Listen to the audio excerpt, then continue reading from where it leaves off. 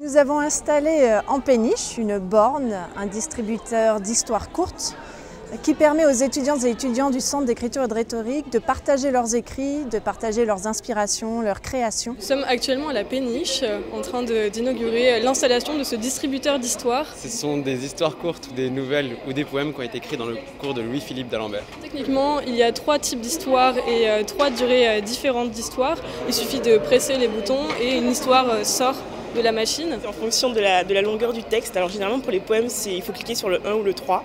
Euh, et du coup, ça demande une minute ou trois minutes de lecture euh, généralement.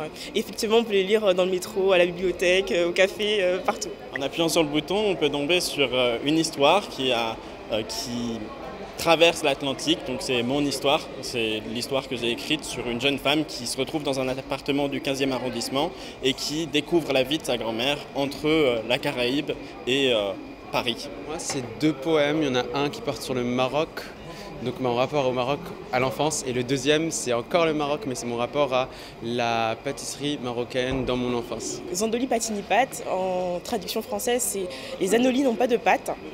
Et, euh, et donc, c'est des poésies qui nous rappellent l'enfance généralement. Et euh, étant, originaire de la Guadeloupe, donc j'ai écrit sur, euh, la Guadeloupe. Je pense que le processus d'écriture est quelque chose de très intime et que l'on fait souvent à l'abri des regards. Et c'est euh, important aujourd'hui d'avoir des, des, professeurs qui ne sont pas des professeurs mais des écrivains qui ont de l'expérience et qui peuvent nous donner un retour sur ce que, sur ce que l'on fait. Il y en a qui étaient un peu plus scolaires que d'autres et puis il y en a d'autres qui se sont très vite, encore une fois, affranchis de tout ça et j'ai vraiment, je leur ai autant appris que j'ai appris d'eux.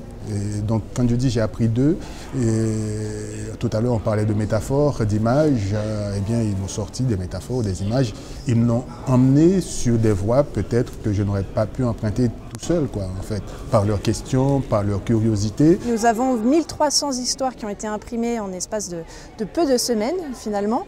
Et donc nous allons ouvrir cette possibilité à l'ensemble des communautés de Sciences Po, leur proposant de nous soumettre des textes qui puissent être édités et ainsi partager avec l'ensemble de nos communautés. Sciences Po.